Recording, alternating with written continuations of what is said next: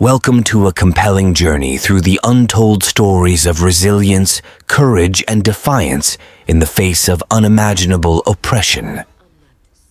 Today, we delve into the hidden history of black women slaves who fought back against the cruel practice of slave breeding in the United States.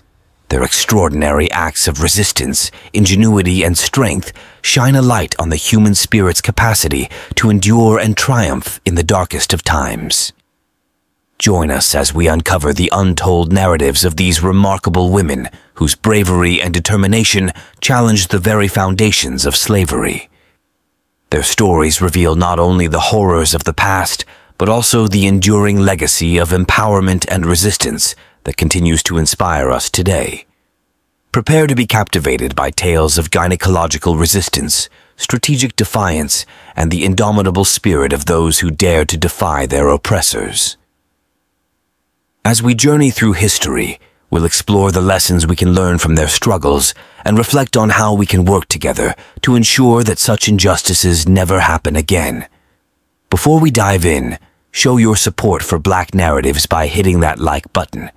Stay tuned as we uncover forgotten history and honor our ancestors' resilience.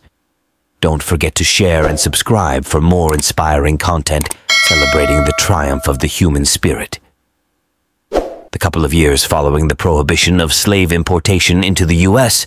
was an era of slave farming. After 1808, slave labor was a scarce commodity in the United States. It was a period that heralded the collapse of a highly lucrative business where the stock traded were humans whose lives were as perishable as autumn leaves.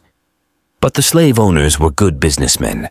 They knew that no business survives with borders closed on supplies. These slavepreneurs did what every good businessman would do.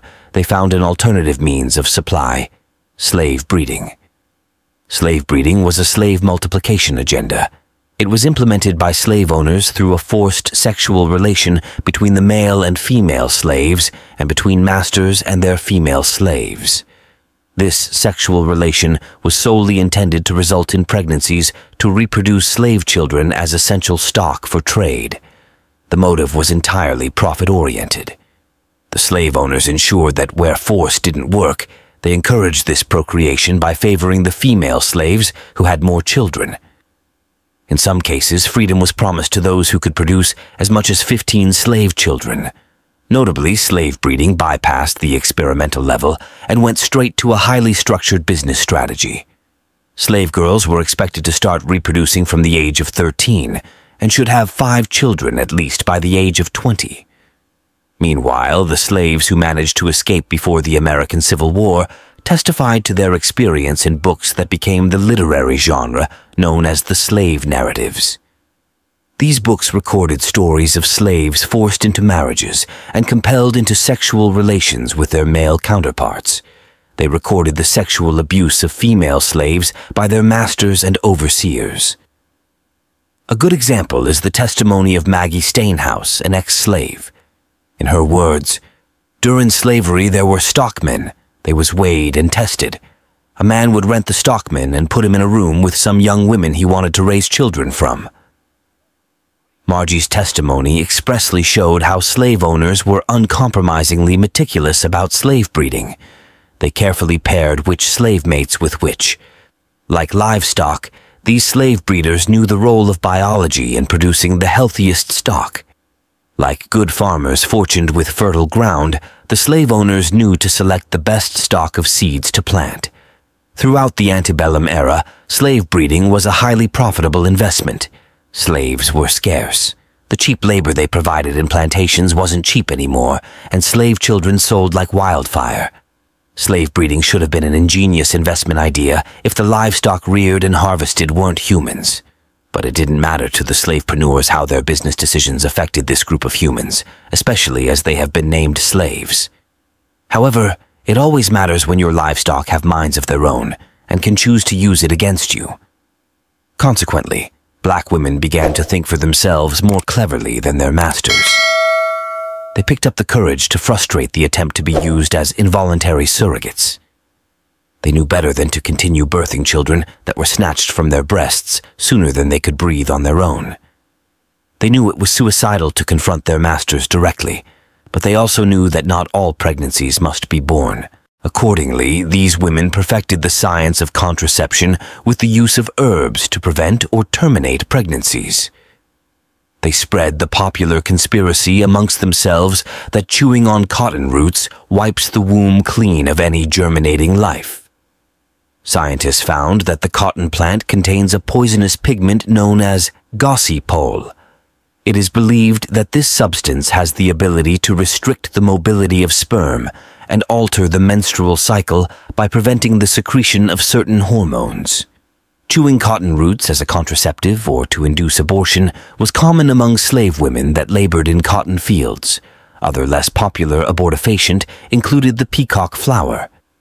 Women who couldn't lay hold of the cotton roots made use of the peacock flower to achieve the same aim of frustrating the idea of slave breeding.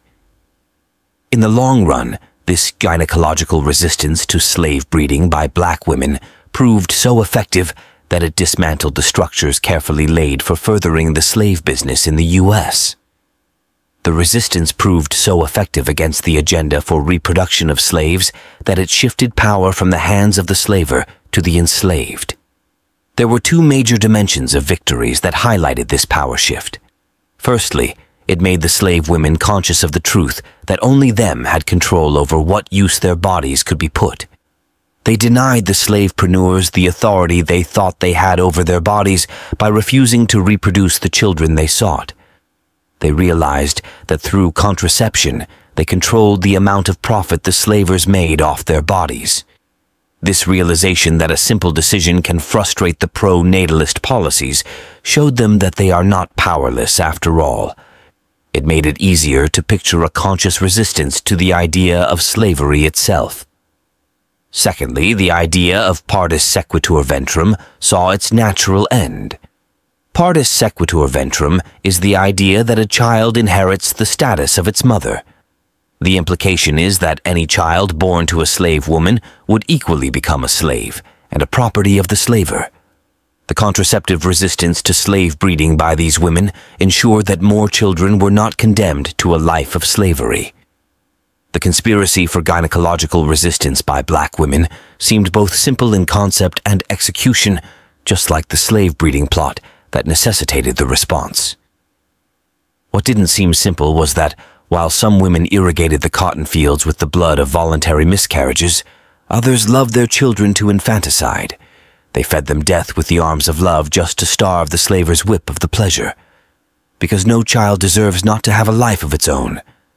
In conclusion, the resilience, intelligence, and courage demonstrated by black women slaves in resisting the dehumanizing practice of slave breeding is nothing short of remarkable. Their unwavering determination to assert control over their own bodies, despite the oppressive circumstances they faced, is a testament to the strength of the human spirit it is imperative that we remember and honor their legacy by ensuring that such atrocities never happen again. We must work tirelessly to dismantle systems of oppression and inequality and strive to create a world where every individual has the right to autonomy and freedom. By sharing and amplifying the stories of our ancestors and the struggles of black people throughout history, we can inspire others to stand up against injustice and discrimination. Let us continue to educate ourselves and others and advocate for a future built on equality, justice, and respect for all. Please like and share this video to help amplify the courage of our ancestors and the resilience of black people. Subscribe for more thought-provoking content like this as we continue to explore and honor the rich tapestry of black history and the fight for freedom and equality. Together, we can make a difference. If you found this video inspiring, you won't want to miss the gripping tale of Pata Seca, a slave forced to breed over 200 slaves. Dive deeper into this compelling story on our channel.